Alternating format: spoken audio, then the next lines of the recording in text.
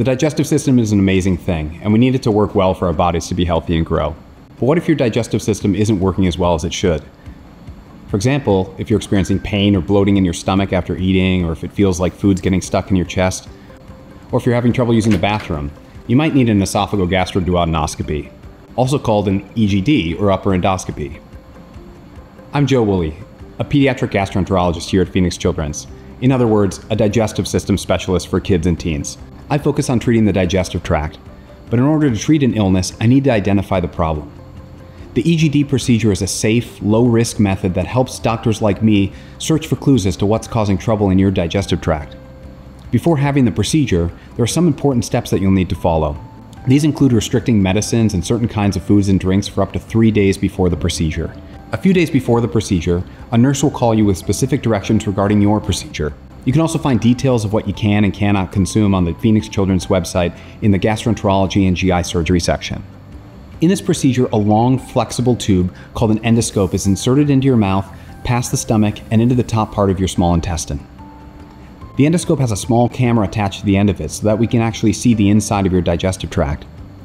During the procedure, we're going to remove tiny bits of tissue, as small as a pin tip. This is called a biopsy and can help us learn whether your symptoms are due to things like allergies, inflammation, or infection.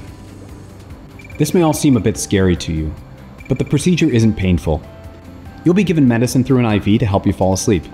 Usually, the entire procedure only lasts around 10 minutes, and the test results are available within two weeks. When your procedure's done, you're going to be taken to a recovery area where you'll wake up. Meanwhile, your GI doctor will meet with your parents or guardian to show them images from the procedure and update them on any findings. Next, they'll be taken to the recovery area to be with you.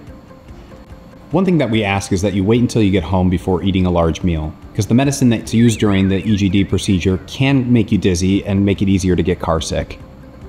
Also, don't schedule any physical activities for the day of the procedure, because it can make you a little bit off balance. It's best to just stay home and relax.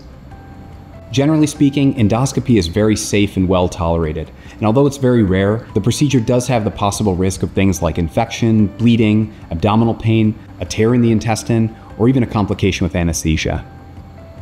But don't worry, we have all the tools and personnel to deal with these issues during or shortly after the procedure. If you're having any pain, signs of bleeding, or infection at home, be sure to call your GI doctor right away. If you have any questions about the procedure, don't hesitate to contact your GI doctor. You can also find information on the Phoenix Children's website in the gastroenterology and GI surgery section. Please remember, highly trained physicians, nurses, and support staff will be with your family every step of the way.